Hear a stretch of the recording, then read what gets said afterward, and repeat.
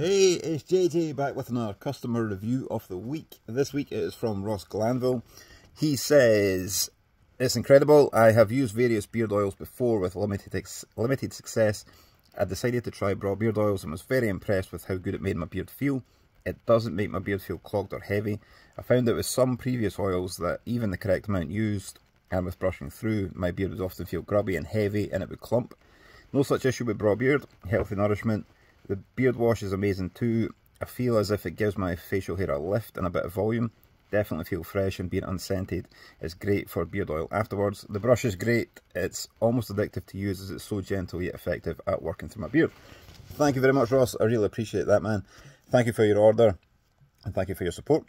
Uh, there are over a thousand five-star reviews at brawbeardoils.com. Check them out if you want to read more. And I will see you next week for another customer review of the week. Cheers.